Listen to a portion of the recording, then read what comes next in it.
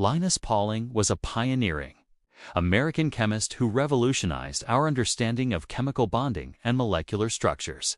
Born in 1901 in Portland, Oregon, Pauling's groundbreaking work in quantum chemistry earned him the Nobel Prize in Chemistry in 1954. He is renowned for his development of the concept of hybridization of atomic orbitals and for his accurate scale of electronegativities, which have become fundamental in the study of chemical reactions and molecular interactions. Beyond his scientific contributions, Pauling was a passionate advocate for peace. Deeply affected by the devastation of Hiroshima and Nagasaki, he became a leading voice against nuclear weapons.